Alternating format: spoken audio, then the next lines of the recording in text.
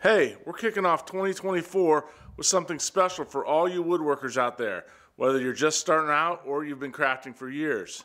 We all know woodworking can be quite a pricey hobby, but I'm here to change that. In today's video, I'll show you three unique items that is perfect for any skill level and only requires basic tools. Now these projects aren't only enjoyable to make, but they're really great sellers as well. So let's dive in and start turning your woodworking passion into profit without breaking the bank. Now, in order to find items that sell well, I went to Etsy. I'm not saying you have to sell items on there, but it is a nice reference to see what sells and can give you an idea of what price you can charge for these items. In order to find out if an item is actually selling, we're going to use a tool called Everbee. This tool runs on Etsy pages and it analyzes the listings and tells you how many items they have sold along with other valuable information. There'll be a link down in the description that will take you to Everbee's website. On there, you can sign up and they have a hobby plan which is free. It limits you to a certain amount of searches a month, but it still is very effective and I think you can find every, all the information you would need just using the hobby plan. Now, one thing I want to say is Please do not copy these items exactly that I'm about to show you. People designed these, they came up with these ideas. They're great ideas. We don't want to just do exact copies. I encourage you just to use them for inspiration. And the main reason I'm showing them to you is to just show you that they do produce money and give you an idea that maybe you can run with. Now, the first item we're going to look at is a book stand. You could also call it a bookmark in a way because it's going to hold your place in the book. Wherever you stop reading, you set the book down on it and it'll save your place. And it serves as just a nice little thing you can have by your bedside and a nightstand on your desk that when you want to stop reading your book, you just set it down on this book stand and it'll keep your place. It also has a little storage area underneath that you can put reading glasses in. I know if you're like my wife, she loses her reading glasses all the time. Uh, sometimes they're on her head and she forgets they're on there. So sorry, honey, but uh, I had to mention that. Now this item is really simple to build and you can actually make it just using cutoffs from other projects that you've made in the past. It only requires three pieces of wood and those would all be one by eights and they're roughly six and one sixteenth inch long. Now all you have to do is cut a 60 degree angle on each end of the boards and then attach them with like glues and nails. That's all you need to do to make this. Now I've found this item on Etsy. It's being sold for $33.37 right now. According to Everbee, they estimate this person's selling 33 units a month. That comes to $1,100 in sales. Even if you're buying the 1x8s, your profit margin on an item like this has to be very high. The second item we're going to look at are these wall sconce vases. Each of these items only requires a 1 by 6 12 inches long, a glass vase, a pipe strap, which you're going to want to probably hit with some spray paint, and a couple screws. Now I looked up the cost of materials for this, and I looked on Menards website because it's easy to find prices for their lumber on their site. Sometimes it's a little bit harder to find on like Lowe's website.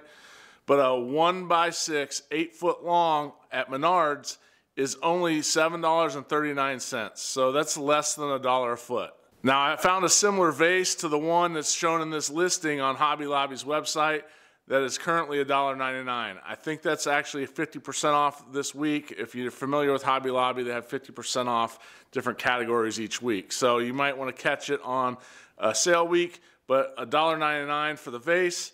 The pipe straps I found on Amazon, $10 for a 30 pack.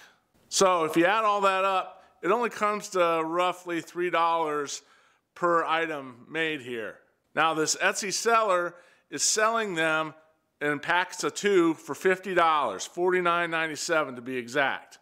According to Everbee, they estimate that they're selling roughly 80 of these pairs every month.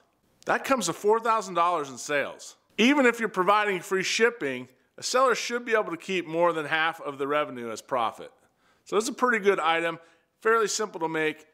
You really would only need a miter saw or a table saw. You could even probably cut these with a handsaw, to be honest. So that, and you'll have to be able to put the screws in. That's all you really need. Very beginner level, very simple. And like I said, you can use scrap wood to make these. The last item we're gonna look at is an epoxy charcuterie tray. Now I've made beach themed ones in the past and I actually have a video that shows you how to make them. I put the video up here so you can catch that one here in a little bit. Uh, but I can confirm that these items do sell well. Now the one I found on Etsy has more of an epoxy river uh, kind of look to it. All these trays really require is a couple pieces of wood, some epoxy, and then just cabinet drawer pulls. For the wood, you don't even need live edge pieces of wood if you want to. You could take a straight edge piece of wood and use a jigsaw or a scroll saw or a bandsaw and cut uh, what would look like a live edge on the edge of it. Once you fill epoxy between, you're never to know if it was live edge or not. So it serves the same purpose, gives you the same look without having to go find live edge, which sometimes can be difficult, especially in a thinner piece like a three quarter inch thick, which is probably what you're want to use to make these trays. Now this person is selling them for $86 for a small tray that's roughly seven inches wide and only 13 inches long. So it's a really small tray. I can't imagine that you, he sells that many of those. They probably sell some of their larger trays, which they have two other options, but the largest is 11 by 22 for $175. Now, according to Everbee, they're selling 43 items a month off of this listing. We do not know how many of each one they're selling. We just know that they're selling roughly 43 of them.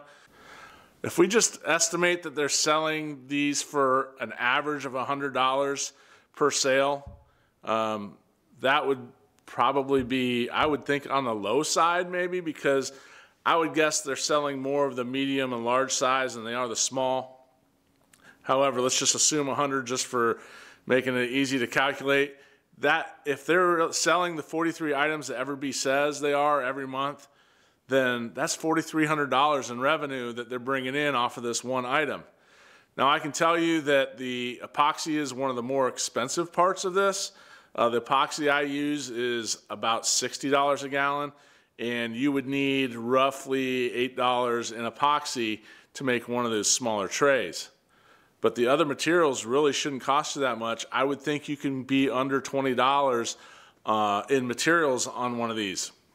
So even if you throw in free shipping, you still have probably at least a 50% profit margin on an item such as this, and they're a lot of fun to make.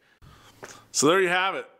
These projects demonstrate potential for some nice profits, many of which can be crafted just out of scrap wood or cut off so you aren't sure what to use for you you know saving that one piece for something down the road well this might be one of the things you could make and you could make a little bit of money to help fund your hobby now while i can't promise you guaranteed results i did want to provide you a way that you could earn a little bit of money back from enjoying your hobby and craft so this could be a great way to support your hobby financially. As you hone your skills and discover new projects that you're passionate about, you may just turn this hobby into a nice little profitable side hustle. Hey, thanks for tuning in and check out these videos here beside me for more information on how to make cool projects and just more shop class fun.